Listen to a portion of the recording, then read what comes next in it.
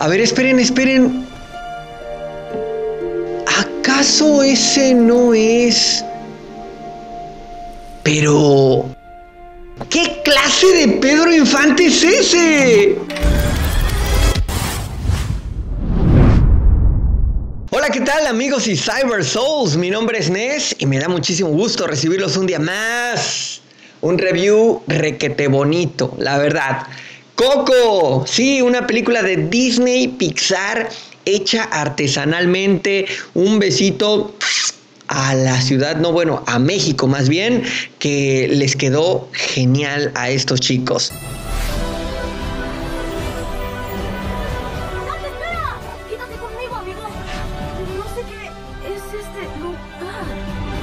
La película trata acerca de un niño llamado Miguel, el cual está buscando hacer su gran sueño realidad, es ser músico. Él quiere ser como su gran héroe de la cruz, el cual hasta le tiene un altar y toda la cosa, pero su familia le tiene un repudio muy pero muy especial a todo lo que tenga que ver con la música y bueno, pues han sido zapateros por varias generaciones y obviamente quieren que su pequeño también lo sea. ¡Voy a ser un músico! Los músicos son egoístas e irresponsables. No más música. Hazle caso a tu familia.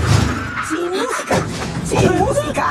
Todo el trayecto se trata justamente de que Miguel va a tratar de encontrarse a sí mismo y en eso, bueno, pues también va a encontrarse en el mundo de los muertos con todos sus antepasados para saber algunas cosas de su familia, encontrar valores perdidos y sobre todo, ¿será que todo este viaje al inframundo rinda frutos y pueda encontrar lo que tanto desea?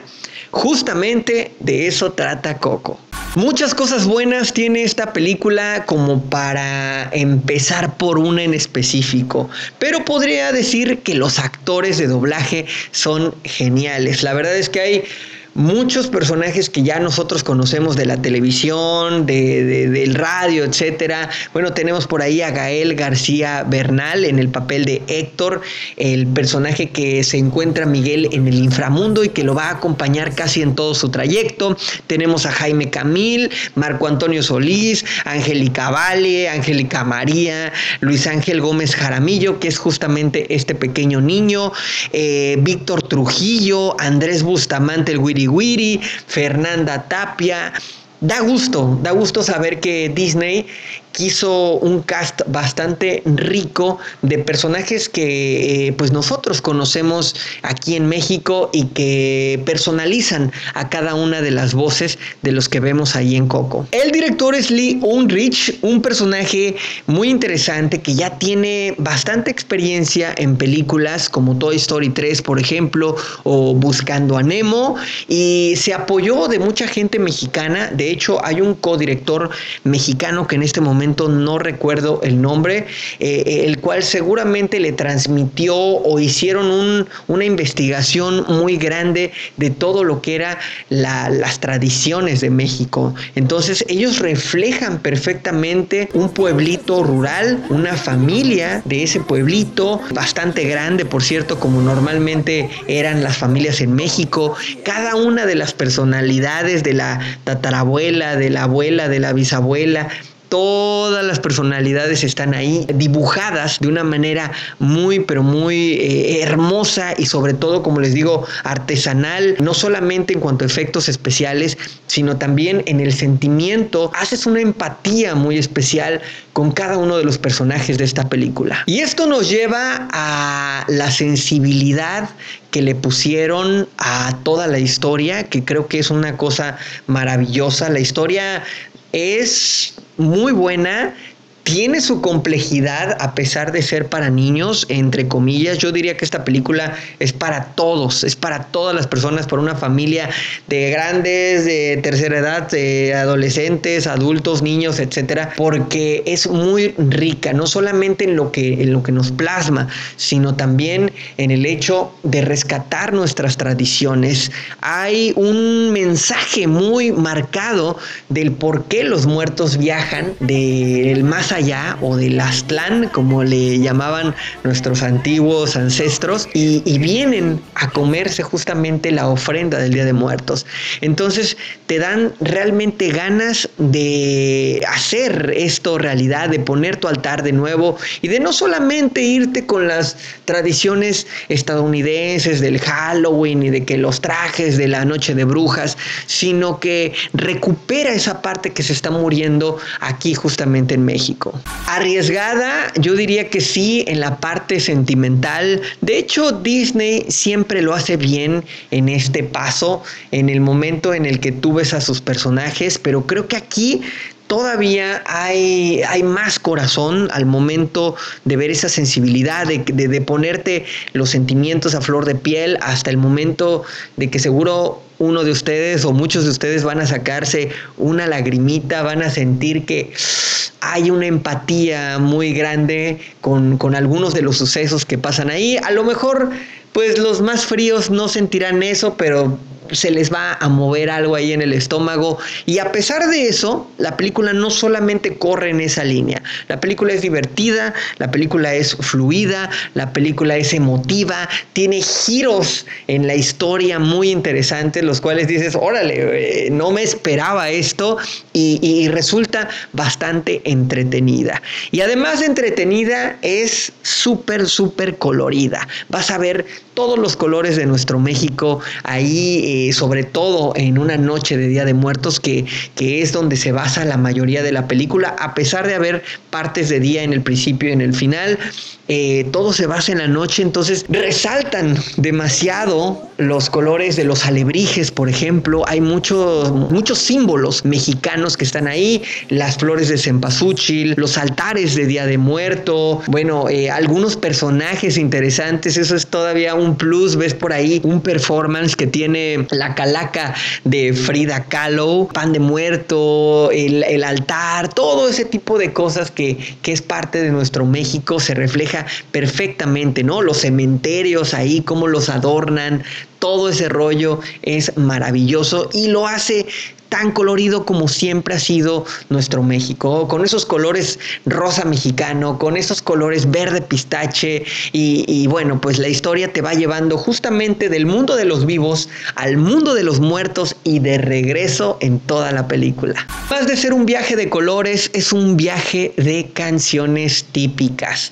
Claro que sí, vamos a escuchar al mariachi, claro que sí, vamos a escuchar esas voces, Pedro Infante, Jorge Negrete, bueno, ahora obviamente vocalizadas por Marco Antonio Solís, por Carlos Riviera, por Bronco, pero se escuchan muy bonitas, están muy cuidadas y bien arregladas cada una de estas canciones y me parece que le dan al clavo en todos los momentos que las meten. Y no solamente es un musical más, porque sí, hay música, pero no se siente como musical, realmente se siente una película normal que, que las canciones entran en el contexto de toda la película. Sentí re bonito, la verdad sentí re bonito que Disney eh, hiciera algo hacia México de esa manera tan especial. No es solamente un intento por transmitir lo que hacemos aquí o lo que hacen los pueblitos más allegados a sus tradiciones. Bueno, yo recuerdo la película de Libro de la Vida de Guillermo del Toro y de Jorge Gutiérrez, la cual fue un excelente intento, yo diría así,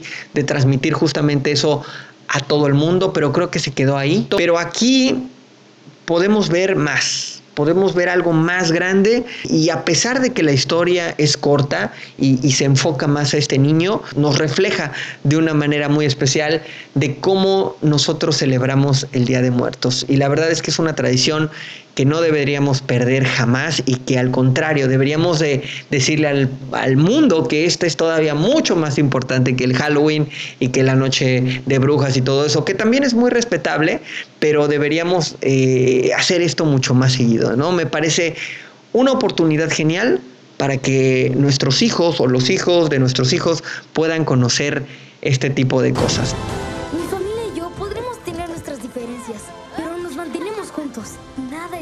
Importante Y así, y así podría enumerar infinidad de cosas buenas. La verdad es que me gustó mucho la recreación del mundo de los muertos también, en el cual, bueno, pues hay muertos que viven como en la pobreza. Es como una especie de purgatorio ahí muy locochón. Hay otros que viven en la opulencia. No estás muerto del todo porque bajas a la tierra, te dan un pase especial para bajar a ver tu ofrenda y bueno, hasta que te olvidan sucede algo muy especial donde ya pues te vas, se supone, completamente a otro tipo de cielo. Entonces es un purgatorio muy loco, hay performance también ahí muy interesantes. Toda la película es un viaje. Y no solamente eso, sino que tiene mensajes maravillosos. Uno de ellos, obviamente, es el respeto y la preservación a nuestras tradiciones, que deberíamos seguirlas cada año, enfrentarte a todas las vicisitudes y no darte por vencido para lograr tus sueños, el amor también hacia la familia, el amor hacia tus semejantes, el amor incondicional y la bendición incondicional que le deberíamos dar a todos nuestros seres queridos. Y no siempre decir yo te amo, pero pues cambia esto, yo te amo, pero pues me gustaría esto, o yo te doy mi bendición, pero primero esto, ¿no? Entonces hay una serie de eventos que hace que la familia vaya encontrándose y vaya decidiendo dar su, su amor como tal y su bendición sin tapujos que me pareció genial, o sea, fue una cereza en el pastel ese tipo de mensaje, además todavía de el perdón, que es otra cosa también muy interesante, el perdón hacia los seres queridos y, y, que bueno, se refleja de una manera muy pero muy hermosa dentro de toda la película. Por todo eso y mucho más, Coco se convierte en un clásico instantáneo, imperdible para los niños imperdible para los abuelos, imperdible para verla en una noche de Navidad, en una noche de Día de Muertos. Creo que esta es de esas películas que va a preservarse por generaciones y te va a decir tu, hijo, oye papá, ponme la película de Coco cuando sea justamente Día de Muertos, ¿no? Yo le voy a poner nada más y nada menos a esta película que un 9.7. 9.7 no le veo la verdad es que muchos contras.